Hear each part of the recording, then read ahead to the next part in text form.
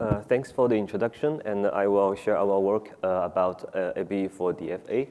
So, so first, uh, in, in the ABE schemes, so the, the ciphertext is uh, corresponding with uh, attribute X, and the secret key is corresponding with some policies. So if the attribute is satisfied, is satisfied policy, then we can, we can recover the message using this secret key. Otherwise, we require that the message is hidden, even we have the secret key, and uh, this should be held even if we have uh, more, more, secret, uh, more secret keys. So uh, in this talk, I will focus on AB for DFA. So where the policy is described by a deterministic finite automata. So let me quickly re review the notion using this example about uh, DFA. So, so DFA has, uh, this DFA has uh, two, two states. So at the beginning, when we run the DFA, we start from state one. The machine is in state one. And then it will run in several stages. And at each, each stage, it will read one bit. And when, when the re read one bit, it will change the state. So this is, this is described by the transition functions. We, we, we write it using the arrows. So the lower arrow says that if the machine is in state one and input is zero, then we will move to state two. So when we read all the bit, we will, we will reach some states. If the state is two, which is called the accept state, we will accept the, the input, otherwise we, we just reject. So I want to remind you that uh, DFA define regular language. So I write the regular expression here. So sometimes we call it ABE for regular language. So the advantage is that uh, this allows us to have an attribute x with arbitrary size. This is different from uh, traditional ABE for circuit. The input is bounded, so which is very useful for some uh, application like uh, text return, where the data can, can be very long. So for this very useful primitive, we have had some constructions, but all of them require Q-type assumptions. The key point is that uh, the complexity of the assumption related to the length of input x, that means it's unbounded. It's, it's not very good. So in, in our work, we give a first ABE scheme for DFA from k-linear assumption. This is a static assumption. The complexity is constant. So in this talk, I have to explain the, our, our idea using bilinear group of a composite order but I promise you that everything I will told you can be translated into a prime order group and can be based on k-linear assumption. So the first thing is uh, how to realize the functionalities. So that means we have a, a ciphertext for x and a secret key for f, and then we can decrypt if x satisfies f. So the first thing is in the ciphertext, we have a for ran randomness. So this basically, basically corresponding to the four steps when we run the DFAF on this input. Because, because this means that uh, we, we are at the step zeros. We read no bit. So S1 means we at the uh, stay, uh, step one, we have, read, we, we have read the first zero, and so on. Then in the secret key, we have two randomness, D1 and D2. This basically means that the D1 is for the uh, state 1, D2 is for the state 2. So we use a small dot to save the space. So actually, when you, when you decrypt using the secret key and uh, to decrypt the ciphertext, we actually compute some values corresponding to this D and S. So let me first tell you the correspondence between the values and the, the execution of DFA, and I'll tell you the structure of secret key and the ciphertext. So in the first step, we said that we always start from the start state one. So in, in stage one, we're at the st state one. So we'll compute a value corresponding to S0 and a D1. So in, in our construction and the basic order pairing based one, so we compute the product of these two values. Then we actually depict the transition function like this. So the dot here in this column basically means the same state, but for the step, step one, for the next step. So because we are in the state one, so follow this line, we will move to state two. So this basically corresponding to these values. So actually, we need to compute S1, D2 from D0, uh, S0, D1 we have obtained. So then we continue this process, compute S2, D, D1, S3, D2, according to the state we can reach in each step. Then finally, we will reach this, uh, these values, and the, and the state 2 is the accept state. So it should be used, use this value to recover the message. So generally, we will do this. If we can reach ui after reading i bit, then we will compute these, uh, values. Okay, let me tell you the uh, structure. So you need to do something for the start and uh, connect to the message, but we focus on the transitional part. So for this part, we want to compute the, this value from the previous values. We use a cipher, uh, encoding the first zero and a sub-secret key encoding these uh, transitions. So we, do, we, we choose a public parameter, z and w, which were published in master public key in the proper form. Then we actually encrypt the D1 and the D2 in this form, which is a ElGamal-like one, but shared randomness. Then for the ciphertext, we connect the S0 and the S1 using this structure so that we are not recovering S1, D2 individually. We actually recover the difference of these two values such that we can move from S, S0, D1 to S1, D2. So for all other transitions, we can do the same things. For example, for the I0, we use the same structure, but use different S. We use SI and uh, SI minus 1 and SI.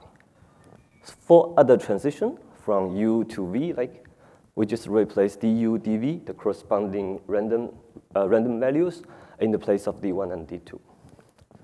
Also, we, we can hope that we have uh, other symbols in the input. So for this case, we just choose different W for each, each possible symbols. And when, uh, when we have a transition on sigma, we just replace W with the corresponding W. And in the ciphertext, if xi uh, uh, xi is uh, used to uh, create used to wxi. So this actually is the structure used in the first AB for DFA from, from Waters. So we use, but we need to change the scheme, and we work with composite order group and give a different proof. So we call this warm-up scheme and tell you what kind of things we should do. So this is the takeaway for this part. So for the security, uh, we give these examples, which is shorter. That means from the expression, you can see that it will be rejected by the DFA. So it's basically corresponding to the execution of DFA on this input, and then we need to create a hybrid corresponding to this one. So what, what the hybrid is, so in, in G, G0, it's corresponding to step zero. In step zero, we are in state one, so we are not in, uh, we, are, we cannot reach uh, state two. So we want to say that the S0, D, D2 is pseudo-random. Then in, in G, G1, we look at the step one. So basically that means uh, very similar. That means S1, D, D1 is uh, pseudo-random. Then we move to the next hybrid. So in this hybrid, S2 and the D2 is pseudo-random because uh, D2 is not reachable. So as we have said that the D2 is an accepted state, it's corresponding to the message. So the fact that S2, D2 is pseudo-random help us to hide message. So this, proof, this is the high level of the proof. So similar, we have, a gen, we have a general way to define hybrid I. If we can reach UI after reading I bit, we will define we, we will define a GI with SI and a DV is pseudo-random for all V which is different from UI. So how to real, realize it in the, in the secret key and the ciphertext? S and D from two components, so we need to change the distribution of ciphertext and the secret key. So this one is very standard for dual system encryption. The key point is here, we add the delta IV here. So we define it in this form, which depends on whether V is corresponding to the UI. And this means we hide the dV by delta if V is not uh, reachable after reading IBIT. Otherwise, it's just uh, clear. So at this point, the takeaway is like this. We call this execution graph. So the green part is basically say what we can recover during the, during the decryption. That means the value we can compute. So the red dot means that uh, in each game, we want to hide. So actually, this also, we, we, we can read how to assign delta IV from this graph. I actually from 0, 1, 2, and the V is 1, 2. Uh, green dot means we set delta to be 0. Red dot set, said that we set delta to be, uh, set the delta IV to be delta. So uh, let's move to the proof, but I must say that we need to change a little bit about the definition of hybrid. But let me show the proof idea and see why we need to check, uh, why we need to change the hybrid. So we have a lot of hybrid. So the key point is to say that the, the adjacent hybrid are, are indistinguishable. So I want to show you the statement like this. This statement is oversimplified. So we need many steps to connect the left-hand side to the G minus Gi minus 1 and the right-hand side to the G, Gi. So, but, but in this talk, let me just focus on this very simple statement. As I said, with our definition, it's actually wrong. We can find a U to V sigma, the, the, the transition. The corresponding term is actually distinguishable. So let me tell you the, what kind of a transition. So we focus on sigma equals xi. That means we can actually recover this part, the delta part, in clear, because we know wxi we can actually decrypt it. So we just compare this to 1. So if we set u is not equal to ui minus 1, that means it cannot reach uh, in the i minus 1 step. That means we set it to be delta. And if we set u be ui, uh, v to be ui, that means we can reach. So it's clear it's, it, it's actually not equal. So the statement is wrong in this case. So in order to fix it, we need to, we need to require that we have such kind of uh, property. So if you have a connection from V to U on input xi, the corresponding delta should be equal. So in the graph, actually, if you have a line connecting to dot, the dot should be has the same color. So the point is that how to get this. So we require such kind of features. So the point is that we can change the definition of delta by just uh, pick uh, v from fi. That means we define fi for each, each hybrid, and from the fi we can define one new delta iv, which satisfies this uh, property. So let me show you an example. It's a little complex uh, execution graph. So this, uh, there are three states. The first is start state. The second, the, the remaining two is accept state. And we we draw the transition here. So according to our previous idea, we have a path from the start state to this, and the other states will be colored in red. That means we will argue that it's uh, pseudo-random. So you can see that there are two lines which is problematic. We have uh, told you. So the, the way to fix it is to set like this. So let's come, uh, let's come back to this graph. This is the right hybrid we can use and satisfy the property here. That means the, the set F0 to F3 can be defined like this. We actually don't cover all the all other uh, states here and here. So we have a smaller F1 and a smaller F2. So actually, you don't need to do all the work like this to define the set we actually can define the set in an iterative way. So actually, the last set F3 corresponding to the accept state. We put all accept state into, into the set. Then we trace back to define F2. So F2 contains all state, which will transit to the state in F3. Then we trace back to find S1. Then we trace back to find F0. So this give, give our definition. So now with the definition here, we have these features, then we can prove this statement. So the proof is very simple. So for the case sigma equals xi, we, we just use the features. Clearly the two sides is uh, equal. And for the, the other case, sigma is not equal to xi, we just use DDH to hide the difference between this side. Actually, this is the main idea in the proof, actually we have a more idea to, to carry out the, the actual proof because we still need to change the ciphertext. So we have more idea like this. It's a subgroup hiding, but it's enhanced by giving something like this, but hidden in an ElGamal type encryption.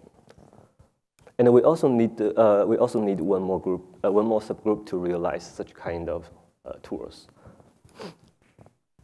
Then, as I told you, that the, the warm-up warm -up scheme is not the actual scheme. So to move to the actual scheme, we have to do some change, but I have no time to explain why, but I just tell you the things we want to do. We need two copy of the, the public parameter, like this. Then we create, create a secret key for, uh, for each transition and the two copy. It's parallel, just the two copy of the secret key. The complex step is the, the ciphertext part. So for the, for the ciphertext part, for, uh, xi is encoded using a z0 and a w sigma 0 if i is a, i is a even number. So actually switch between the two, two system, the two parameter, depending on the uh, parity of i. So this is our actual scheme. Okay, let's summarize the talk. Actually, we give a new technique about how to construct AB for DFA from a standard uh, static assumption, and we really give a new concrete schemes. So for, for the future work, uh, I, I think a lattice-based variant should be interesting, and the idea to, to try, trace the execution of DFA may be useful in another, in another scenario. Okay, thank you. That's it.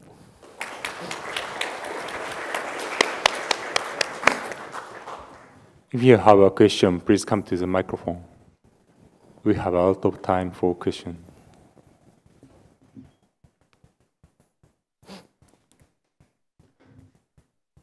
Uh, I have uh, one question. Uh, one question. Uh, where did you use the selective security? Uh, ah, yeah, yeah, yeah. Uh, because Oh, we just see this one. So when you define delta, you need the information about x.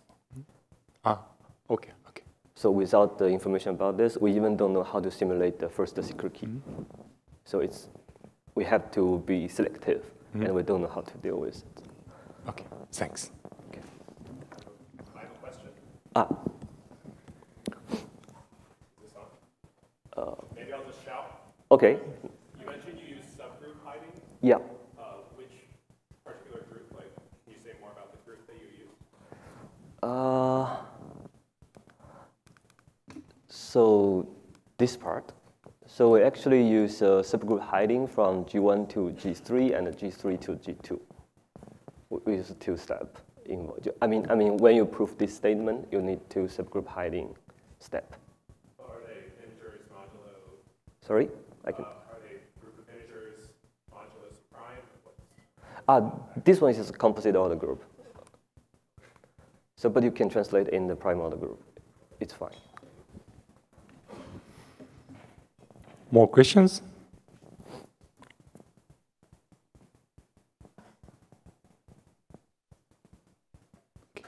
Let's thanks the speaker again.